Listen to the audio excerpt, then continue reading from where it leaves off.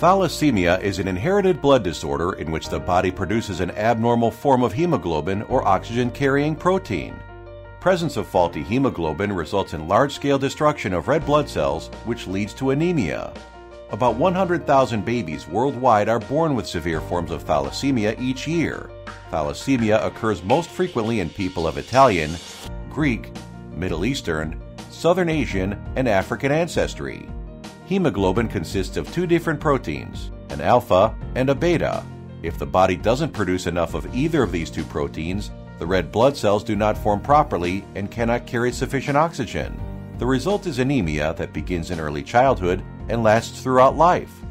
This disorder can be classified into two types alpha thalassemia and beta thalassemia.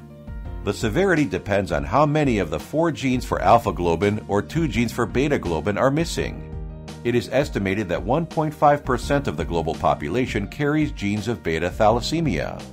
Thalassemia is caused due to particular genetic defects which are inheritable. Alpha thalassemia results due to mutation in the genes HBA and HBA2.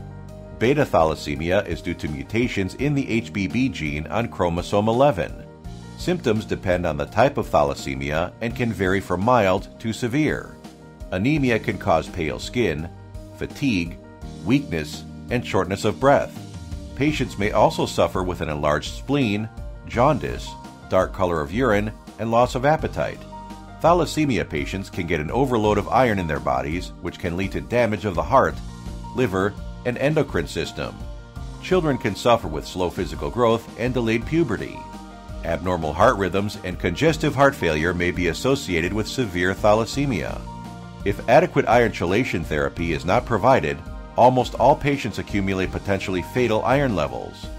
Diagnosis of thalassemia is typically made by blood tests, including a complete blood count, hemoglobin electrophoresis test, and genetic analysis. Prenatal diagnosis of thalassemia is best carried out by chorionic villus sampling in the first trimester of pregnancy. Treatment of thalassemia depends on the type and severity. Treatment for the severe form of disease often includes regular blood transfusions, iron chelation therapy, a process by which excess iron from the body, and supplementation of folic acid. Bone marrow transplantation may be used to cure the condition, especially in young people who have a human leukocyte antigen matched donor. Success rates in bone marrow transplantation have been in the 80 to 90% range. For more information about list of expert doctors, hospitals, and ongoing clinical trials, please visit www.xpertdox.com.